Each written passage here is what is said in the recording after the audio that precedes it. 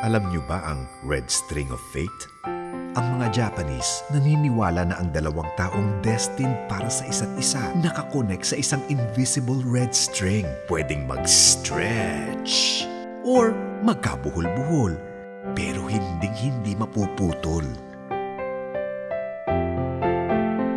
In a world of 7 billion people, What are the chances na makikilala mo ang taong nakatakda para sa'yo?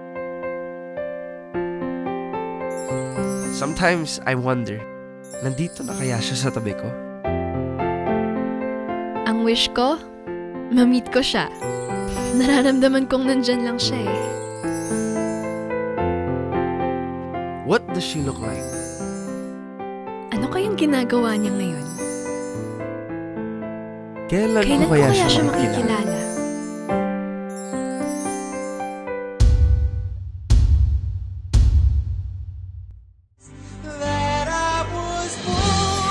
2016, ABS-CBN proudly presents a Dreamscape production.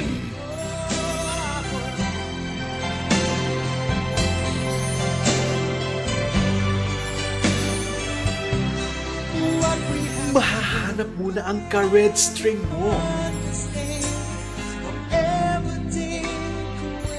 Elmo Magalona and Janela Salvador. Ready ka na when destiny comes?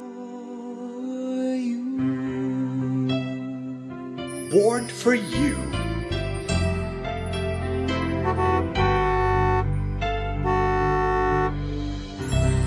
Coming in 2016.